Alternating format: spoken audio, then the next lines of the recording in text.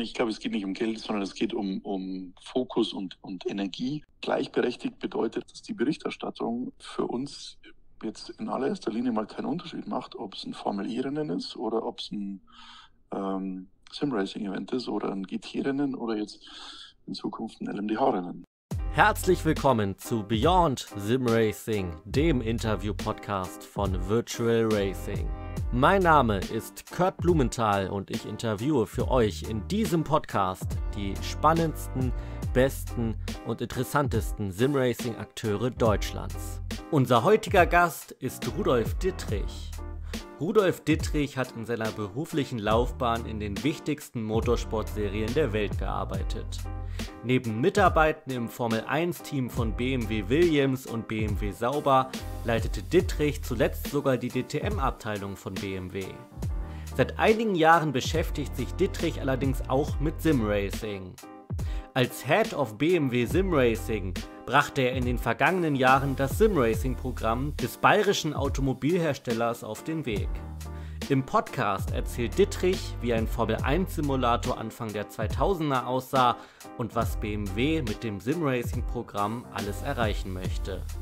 Wir wünschen euch viel Spaß bei Beyond Simracing mit Rudolf Dittrich.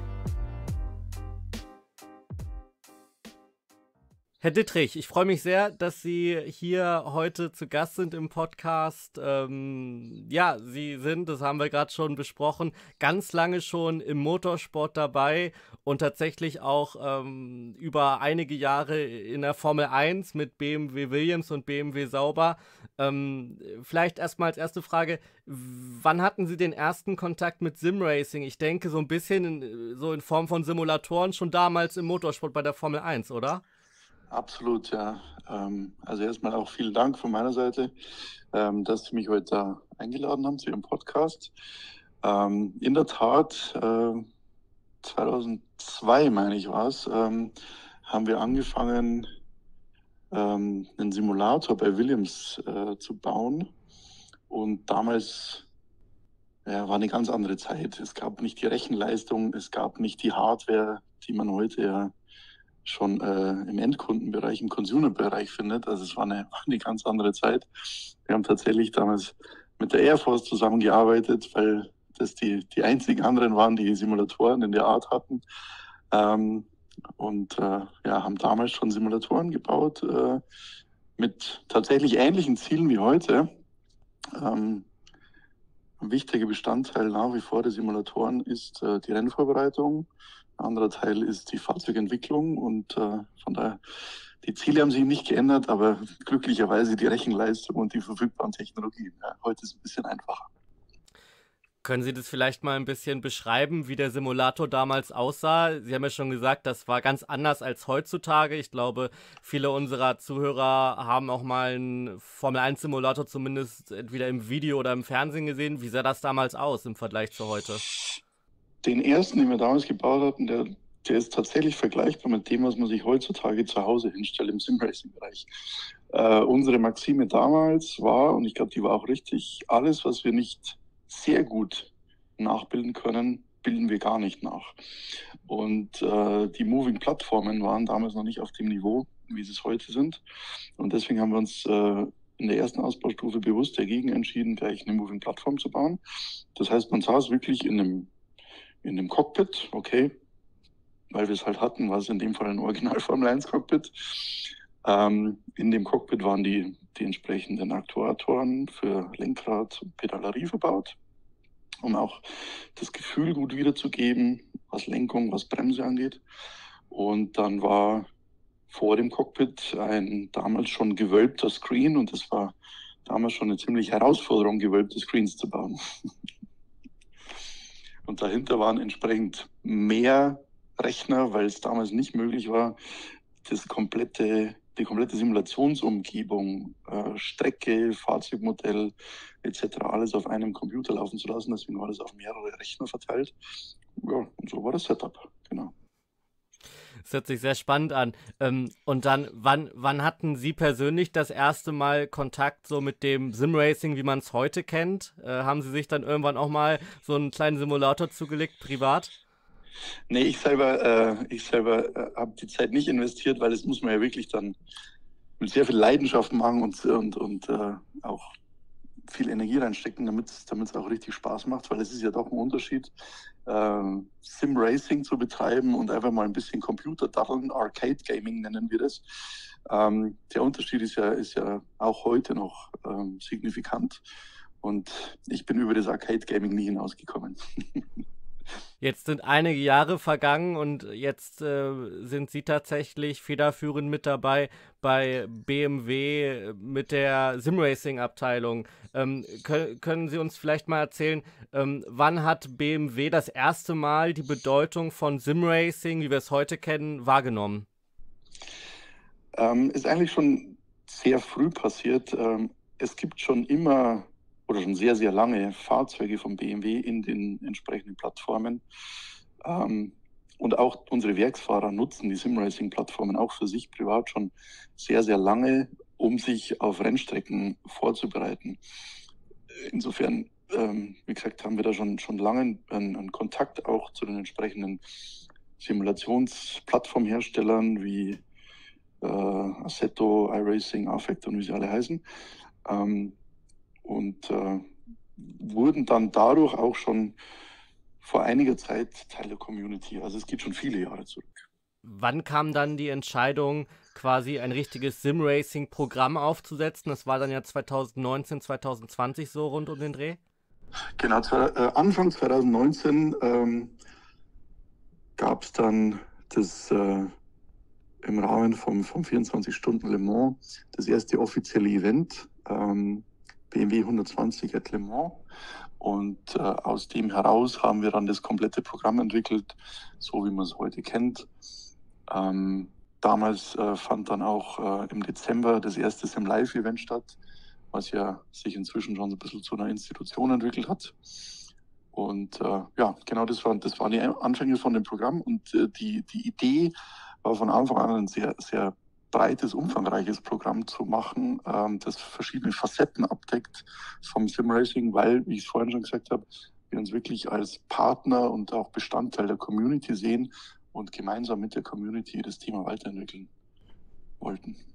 Welche Rolle hat dabei dann auch die Corona-Pandemie gespielt? Weil die hat ja dem Simracing ähm, auch auf der ja, großen Fernsehebene, auch bei den Herstellern, nochmal einen enormen Push gegeben. Absolut. Also das war schon faszinierend äh, mitzuerleben, was das für ein Momentum äh, generiert hat. Aber für uns ähm, hat es ehrlich gesagt keinen Einfluss gehabt, weil wir, wie gesagt, äh, unser Programm schon vor Corona aufgesetzt haben. Aber durch Corona hat es natürlich ein wahnsinniges, äh, einen wahnsinnigen Schub äh, erlebt, äh, wahnsinniges Momentum bekommen. Und äh, wir haben uns halt sehr darüber gefreut, wie, wie breit das dann auch angenommen wurde. Ich meine, die Leute saßen zu Hause, haben zum einen natürlich auch Unterhaltung gesucht, wollten unterhalten werden. Und äh, da kommt man die Bestandteile des Programms, die wir uns vorher überlegt hatten, voll ausspielen. Und es ist natürlich dann im Zuge äh, der Pandemie auch äh, noch schneller gewachsen, weil dann eben plötzlich äh, Sim-Racing direkt im, im, im Primetime-TV äh, äh, gezeigt wurde, was natürlich zu dem Zeitpunkt, wo wir das Programm aufgesetzt haben, noch gar nicht die Rede war. Aber das Programm selber, wie gesagt, war aufgesetzt, aber die, die, der Impact wurde sicherlich durch Corona erhöht. Wie schwierig war es dann, als das ganze Thema aufkam, man, man das geplant hat, organisiert hat? Wie schwierig war es da, die Funktionäre zu überzeugen? Also ich denke mal bei BMW, so ein großes Unternehmen, da geht das ja relativ weit hoch, muss ja abgewunken werden. Und ich denke, jemand, der damit nicht so viel zu tun hat, der denkt sich auch erstmal, ist das nicht einfach nur irgendeine Spielerei? War es schwer, die zu überzeugen oder, oder waren die relativ schnell im Boot? Nee, es war eigentlich überhaupt nicht schwierig. Ähm, die Leute waren, waren sehr aufgeschlossen dem Thema gegenüber. Also man hat natürlich schon gewusst, ja, dass, das, dass das ganze Gaming-Thema auch in anderen Bereichen ähm, Stadien schon füllt, auch vor Corona. Ähm, und für uns war immer der Plan, dass wir, dass wir das einfach als zusätzliche Sportart sehen, genauso wie es eben Rallye gibt und, und, und Formelrennen, ähm, war es für uns halt einfach eine weitere Disziplin. Äh, und so haben wir das als, als Säule im Motorsportprogramm aufgenommen und das wurde ähm, sehr schnell verstanden und akzeptiert. Ja. Mit welcher Zielsetzung wurde dann damals das Projekt aufgesetzt? Gut, es gibt, äh, gibt da mehrere Dimensionen. Ich, mein, ich habe es vorhin schon erwähnt, das Programm ist relativ facettenreich und äh, über diese Facetten bedienen wir auch äh, die verschiedenen Aspekte der, der, Ziele. Also das eine ist, wir möchten als allererstes natürlich BMW als Premium-Hersteller mit einer starken Motorsport-DNA ähm, im, im Sim-Racing-Bereich äh, etablieren und da die Führungsposition erhalten.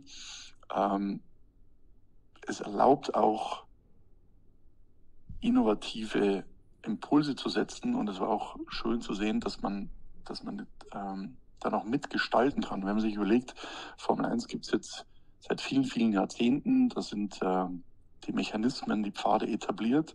Im Simracing ist es alles noch sehr viel jünger und damit äh, bietet es natürlich auch einen Gestaltungsspielraum und man äh, spricht natürlich auch andere Zielgruppen an, äh, was natürlich ein zusätzlicher Aspekt ist, der, der interessant ist. Darüber hinaus ist natürlich das Thema die Synergie mit dem, mit dem Motorsport an sich ähm, sehr spannend. Wir haben vorhin schon über Simulatoren gesprochen, das heißt, das, die, die technischen Aspekte genauso wie die sportlichen Aspekte ähm, sind interessant. Und ich glaube, wir haben gerade auch, was das Thema Technologien angeht, ähm, ja, das ein oder andere Highlight auch setzen können die letzten Jahre.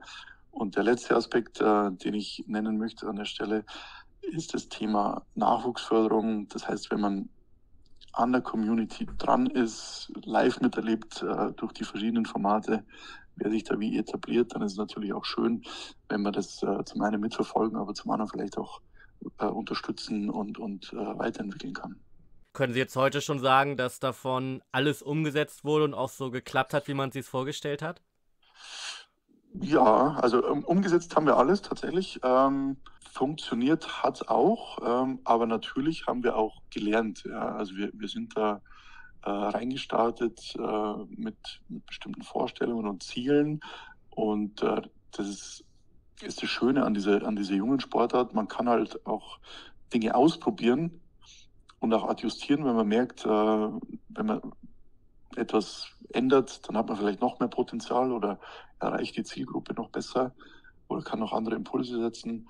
Also funktioniert hat's, aber natürlich haben wir es dann über die Zeit weiterentwickelt, ja.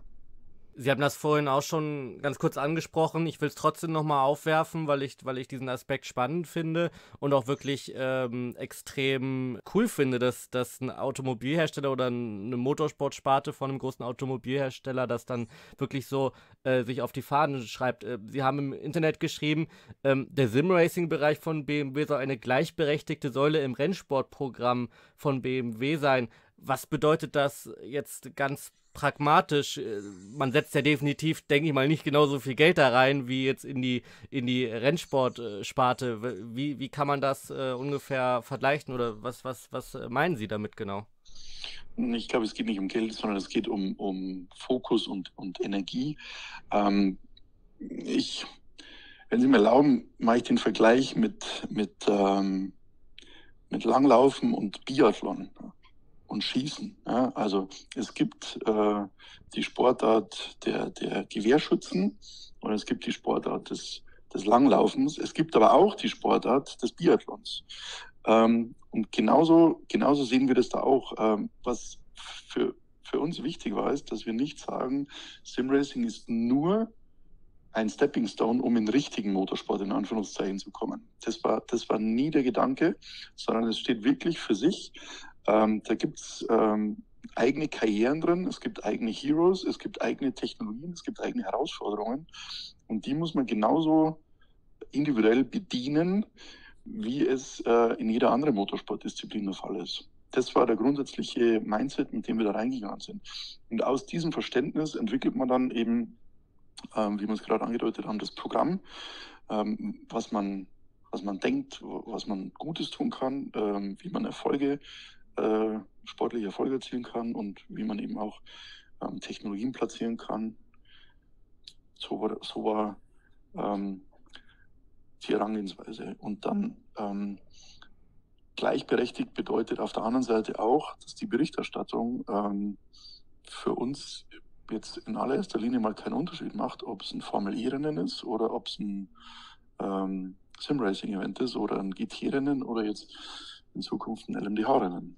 Vielleicht mal die Frage da reingegrätscht, inwieweit äh, sind die Mitarbeiter aus dem Rennsportbereich da auch mitgezogen und auch die Fahrer? Mir fällt jetzt zum Beispiel Bruno Spengler ein, der glaube ich schon sehr lange und auch mit sehr viel Herzblut dabei ist. Kon können Sie das auch bei anderen Mitarbeitern äh, beobachten, dass da die Offenheit und Freude relativ groß ist?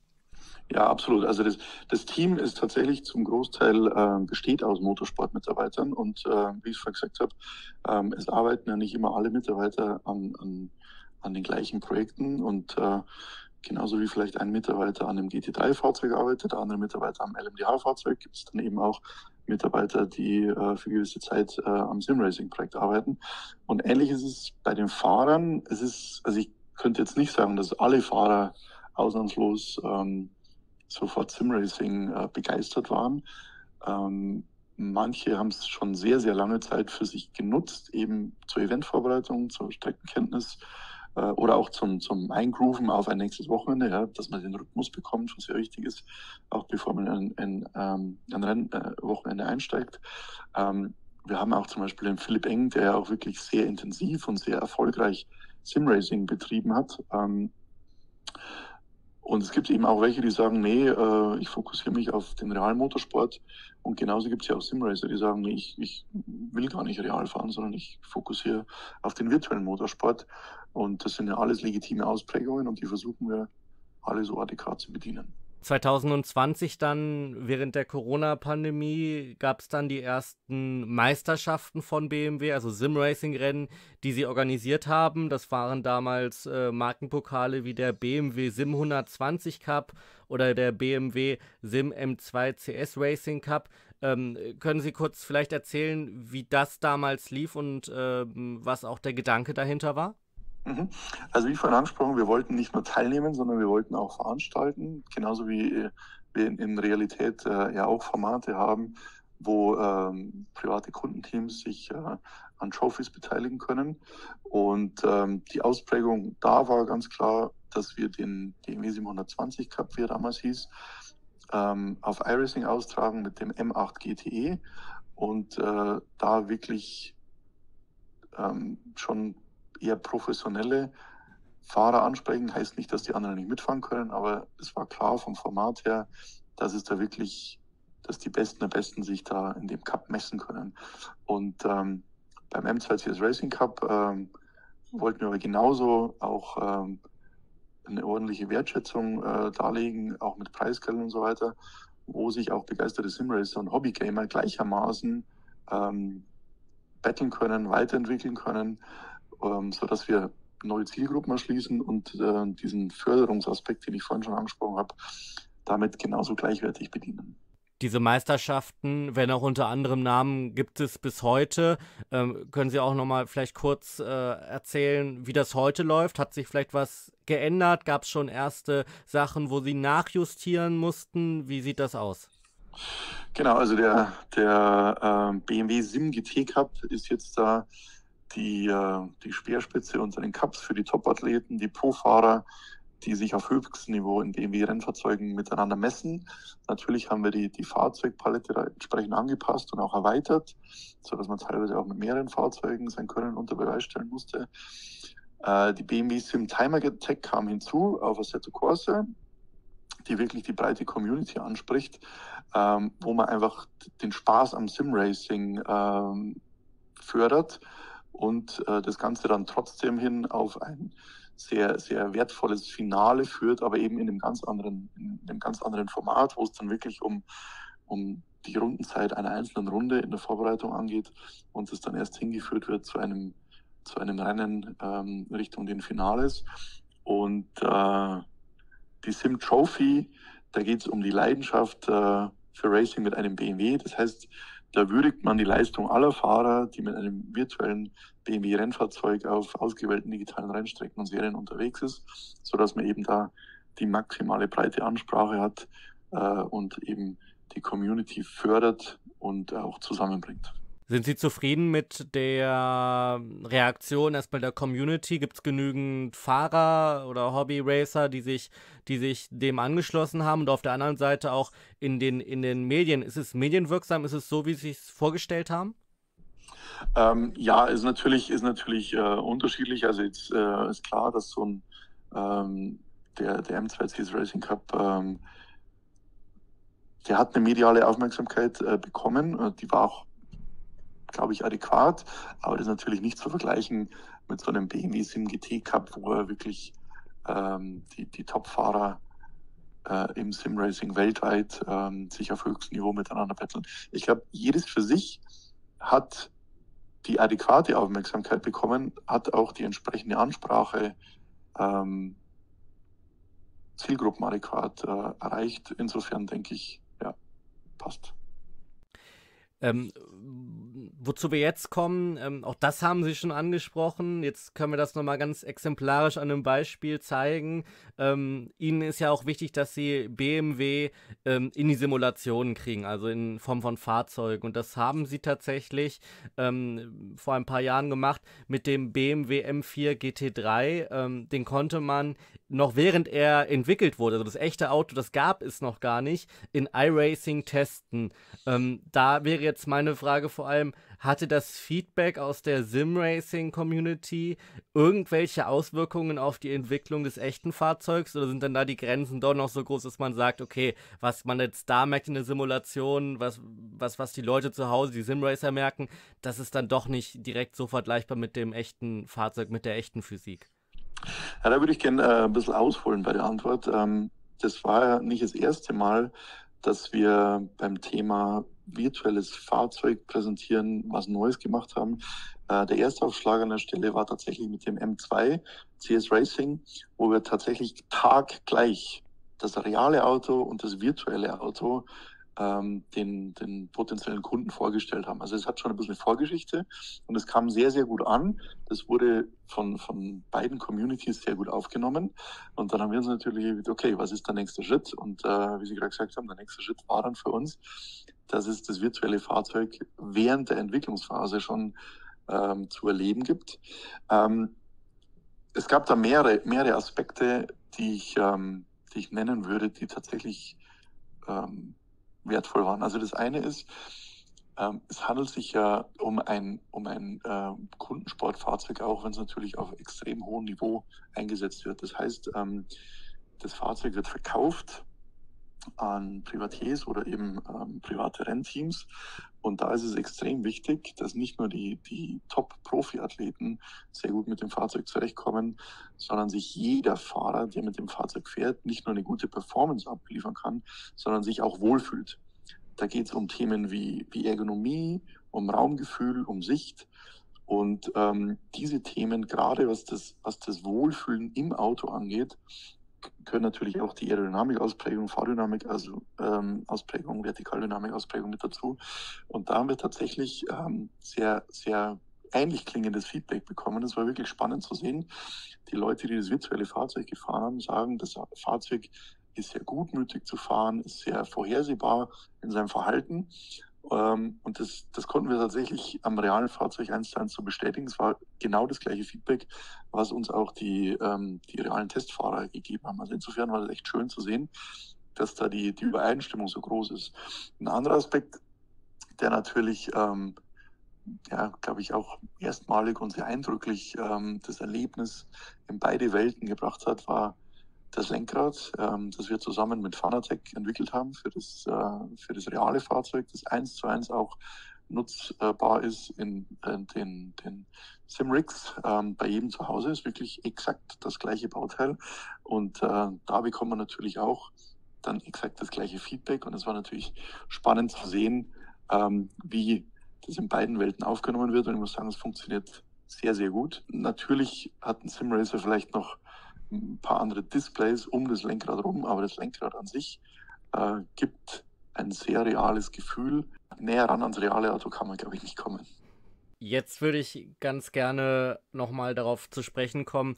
Ähm, Sie haben ja auch ein Sim-Racing-Team, ein eigenes. Ähm, da sind teilweise richtig starke Piloten dabei. Ich hatte gelesen aus dem Team Redline zum Beispiel. Das sind ja somit die besten äh, Simracer, die es gibt auf der Welt. Ähm, wie lief da die Auswahl ab? Wie entscheidet man sich dort für diese Top-Piloten? Mhm. Ähm, also wir haben uns bewusst dagegen entschieden, dass wir ein BMW Motorsport Simracing Team gründen, sondern was wir gemacht haben ist, ähm, wir haben uns praktisch äh, in der Community umgeschaut, welche Teams ähm, gerne mit uns arbeiten würden. Und das heißt, wir haben ähm, eine Zusammenarbeit mit äh, drei Teams zuletzt vereinbart gehabt. Das war eben Redline, BS Plus Competition und äh, G2 Esports. Und ähm, das war natürlich ähm, ein Auswahlprozess, ähm, der für beide Seiten auch passen musste. Also es gab auch Teams, die gesagt haben, nee, sie wollen, sie wollen nicht äh, mit einem Automobilhersteller direkt zusammenarbeiten, sondern wollen unabhängig sein, was wir natürlich auch absolut respektieren. Aber wir sind extrem happy mit den Teams, äh, wo wir eine Zusammenarbeit vereinbaren konnten. Und es ist tatsächlich so, dass die Teams dann eventspezifisch autark die Fahrer auswählen, äh, diese für und mit BMW dann ins Rennen schicken. Gibt es denn auch Möglichkeiten bei Ihnen als quasi Simracing-Amateur reinzukommen? Wenn ich das richtig recherchiert hatte, gibt es bei Ihnen ja auch eine Sim Academy. Genau, also die Sim Academy ist ein, ist ein weiteres Element, was wir äh, gesehen haben mit der Zeit, dass es, dass es einen Bedarf gibt. Ähm, die Sim Academy richtet sich daran, dass man auf verschiedenen Stufen seiner, seiner Entwicklung als Sim Racer eine Unterstützung haben kann. Also es gibt ja was Ähnliches im, im realen Fahrbetrieb auch. Das ist die BMW M Driving Academy, wo man eben ähm, lernt, mit seinem BMW M-Produkt auch im Grenzbereich zu fahren, real. Und analog haben wir das dann übertragen ähm, für Simracing, dass wir eben auch da ein Angebot haben, sowohl für den geneigten Rookie, der ambitioniert äh, in das Thema reinkommen möchte und sich da in allen Bereichen des Fahrens Tipps und Trips äh, abholen möchte, auch äh, zum Thema Setup, zum Thema Fahrlinie, zum Thema Vorbereitung, wie ein Rennen an, Rennstrategie und was es alles dann alles gibt, äh, bis hin tatsächlich zu, zu schon ja, sehr etablierten Fahrern, die dann eben von so renommierten Topgrößen wie einem Max Bennecke oder einem Bruno Spengler sich da noch ein paar Insights abholen können, um noch besser zu werden. Und äh, insofern, ja, die Academy trägt ihren Teil dazu bei, Fahrer weiterzuentwickeln. Aber wie ich vorhin gesagt habe, äh, wir nehmen die Simracer nicht direkt bei BMW unter Vertrag, sondern die Simracer finden dann eben in einem der äh, Simracing-Teams äh, ihr Zuhause und äh, wir sprechen natürlich regelmäßig mit verschiedenen Simracing-Teams und ähm, die können sich äh, bewerben, praktisch ähm, für mit BMW zu fahren. Und ähm, ja, wenn man dann zusammenkommt, dann gibt es in, in Zukunft vielleicht eben noch andere Simracing-Teams, die mit BMW an den Start gehen. Vielleicht da nochmal die Nachfrage, wenn es darum geht, auch diese richtig guten Sim-Racing-Teams für BMW zu gewinnen. Ähm, wie schwer ist es da auch mit anderen Automobilherstellern ähm, ja, in Konkurrenz zu stehen? Ähm, haben Sie das schon erlebt, dass Sie gemerkt haben, oh, das Sim-Racing-Team hat auch Kontakt mit einem anderen Team und da wird es vielleicht schwieriger, das zu verhandeln? Ich meine, das ist ja erstmal ja legitim. Das ist ja Teil, Teil des Wettbewerbs. Ähm, ist ja genauso im Realen, wo auch äh, vielleicht ein Fahrer mal den Hersteller wechselt. Ähm, das ist ja nichts Ungewöhnliches und es ist eben Teil der Competition. Aber genauso ist es da eben auch wichtig, dass man ein attraktives Angebot hat. Und ähm, ich glaube, vorhin unsere Strategie schon, schon erläutert, wie wir da rangegangen sind, äh, wie wir ähm, das aufgesetzt haben, eben nicht als, als Werksteam irgendwie versuchen, alle Platz zu machen, sondern als Teil der Community versuchen, äh, das, das Thema holistisch nach vorne zu bringen in allen Aspekten, in allen Dimensionen. Und ähm, das hat scheinbar bisher sehr guten Anklang gefunden. Auch das Angebot, das wir den Teams dann machen, das reicht ja so weit, dass sie selbst ein, ein, ein äh, Physio-Coaching bekommen, mit den gleichen Coaches, wo auch die realen Rennfahrer ähm, entwickelt werden. Äh, arbeiten wir natürlich auch mit, mit äh, sehr erfahrenen, renovierten Partnern zusammen. Und dieses Gesamtpaket, äh, glaube ich, war bisher sehr interessant. Zumindest können wir uns bezüglich des Zuspruchs nicht beklagen. Ja. Ein Thema würde ich ganz gerne noch ansprechen und zwar ist das die BMW Sim World Tour. Die gab es ähm, in der Vergangenheit, so wie ich das gesehen habe, allerdings erstmal nur durch Österreich. Ähm, können Sie da auch noch mal kurz äh, erklären, was es damit auf sich hatte? Ja, das war eine schöne Sache. Das hat mich wirklich gefreut. Ähm, das äh, das ist, war, war ein Thema, um auch ähm, die BMW Händler äh, in dem jeweiligen Land ähm, damit einzubinden und, und da wirklich auch einen Brückenschlag herzustellen. Das hat äh, am Salzburgring gestartet und äh, dann ging es eben durch ganz Österreich, verschiedene Stationen und dieses gemeinsame Erlebnis zu sagen, man, man fährt Simracing und man erlebt aber auch die ganze Produktpalette von BMW, glaube ich, hat ganz gut funktioniert, weil es einfach ein schönes Erlebnis ist. Ähm, und ich kann mir gut vorstellen, dass das, dass das ähm, auch sich weiterentwickelt, aber dazu brauchst du natürlich ähm, den, den Bedarf äh, und, und ähm, die Bereitschaft, äh, in dem jeweiligen Land das, das durchzuführen. Aber das ist sicherlich ein Thema, das wir, wenn die Lage in der Welt sich ein bisschen beruhigt hat, ähm, sicherlich weiter nochmal ähm, Berücksichtigung findet. Ja. Vielleicht auch da nochmal die Frage, weil jetzt das Ganze ja tatsächlich in Österreich stattgefunden hat. Äh, Sie kennen das ja, Sie haben ja dann in mehreren Ländern auch äh, zu tun, was das angeht.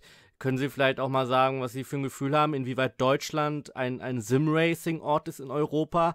Gibt es da in, ist das europaweit eher sehr attraktiv oder, oder gibt es da Länder, wo das noch attraktiver ist?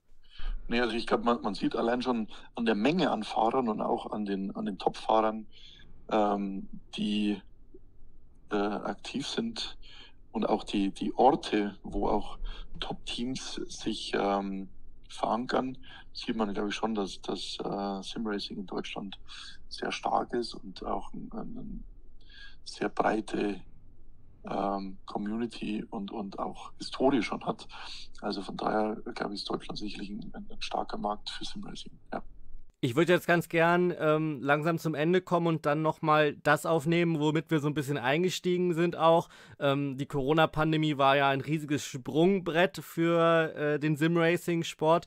Die Pandemie, sie ist noch nicht vorbei, aber es hat sich alles ein bisschen entspannt. Motorsport kann ja zum Glück auch wieder alles richtig stattfinden. Ähm, äh, haben Sie deshalb jetzt so ein bisschen gemerkt, dass der Hype ähm, nachgelassen hat, äh, jetzt nach den Corona-Lockdowns? Oder haben Sie das Gefühl, de, die Corona-Pandemie hat dem Simracing ähm, wirklich genutzt und jetzt tatsächlich auch gar nicht so viel wieder ähm, ja, weggenommen, jetzt wo die Pandemie ein bisschen zurückgefahren ist? Ja, aus unserer Sicht ähm, hat Simracing natürlich einen wahnsinnigen Boost erlebt, äh, also ein, ein beschleunigtes Wachstum, aber es gab vorher ein Wachstum und Simracing wächst weiter. Ähm, die Zahl der Events und äh, der Serien nimmt zu. Und äh, dieser, Tricht, äh, dieser Trend kann sich aus unserer Sicht auch äh, weiterhin fortsetzen. Also das gilt äh, sowohl natürlich für unsere Teams und Fahrer als auch für die Fahrzeuge und, äh, und die Plattformen, auf denen es passiert. Äh, wir sehen weiterhin die Entwicklung von Simracing wachsend und sehr positiv. Ja. Dann würde ich jetzt auch schon äh, zur letzten Frage kommen. Sie haben das gerade gesagt. Sie denken, dass es auf jeden Fall mit dem Simracing weiter bergauf geht. Darum natürlich die Frage direkt verbunden, ähm, was möchte BMW zukünftig noch mit dem Simracing-Programm erreichen? Wir haben ja jetzt schon die Säulen gelernt. Ähm, die, sie, die Sie haben wollen. Haben Sie da noch was anderes für die Zukunft, was Sie interessant finden, oder wollen Sie erstmal das, was Sie jetzt haben, die Basis äh, weiter stärken? Also wir möchten zunächst mal unsere Führungsposition im E-Sports-Segment weiter ausbauen. Ähm, die Basis, die wir gelegt haben, ist, glaube ich, ganz gut.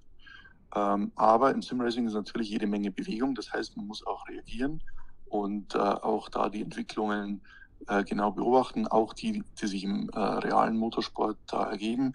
Wir haben ja zuletzt auch gesehen, dass es hybride Meisterschaften gibt.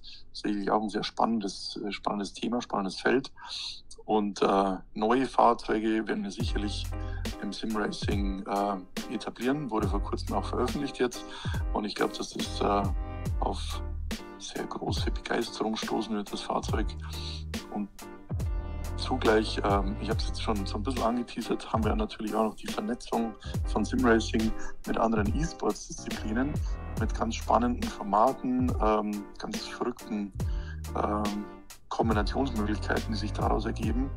Und äh, ich denke, das wird weiterhin spannend bleiben. Und äh, wir versuchen natürlich diese, diese Chancen, die sich da ergeben und die, die Dynamik, äh, die das Thema hat und auch ermöglicht, äh, weiterhin zu nutzen und, und auszubauen. Wir von Virtual Racing wünschen alles Gute, dass das alles so klappt, wie Sie sich das vorstellen. Und äh, ja, vielen, vielen Dank, dass Sie sich die Zeit genommen haben. Ähm, vielen, vielen Dank, Rudolf Dietrich. Sehr gerne. Dankeschön. Wir sind schon wieder am Ende unserer heutigen Folge angekommen und ich fand es wirklich unfassbar interessant, mit jemandem sprechen zu dürfen, der so tief verwurzelt ist im Motorsport und zu hören, was er über Simracing denkt. Seid ihr schon mal mit dem Simracing-Programm von BMW in Berührung gekommen und wie findet ihr es? Schreibt es uns gerne in die Kommentare auf YouTube, Instagram oder Facebook. Mir bleibt jetzt nicht mehr viel zu sagen, außer dass ich mich schon darauf freue, wenn ich euch und den nächsten Gast in den nächsten Wochen hier begrüßen darf. Bis dahin wünsche ich euch eine gute Zeit, bleibt gesund und dem Simracing sowie Virtual Racing gewogen. Bis dahin, keep Simracing und ciao.